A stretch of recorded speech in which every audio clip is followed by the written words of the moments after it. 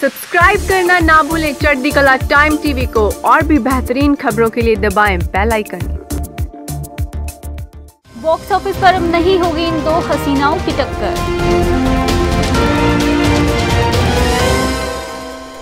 छह अक्टूबर को box office पर दो एरोटिक थ्रिलर और दो हॉट एक्ट्रेस का टकराव होना तय था, लेकिन अब यह टकराव टल गया है। जरीन खान ने साउथ की सनसनी राजलक्ष्मी की राह आसान बनाने का फैसला कर लिया है।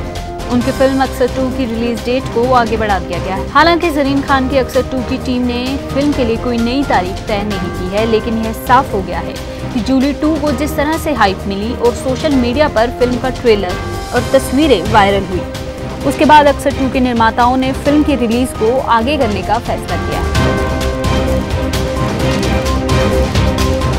जूली टू 2004 की फ़िल्म जूली का सीक्वल है। दीपक शिवदसानी ने निर्देशन किया है इस फ़िल्म का।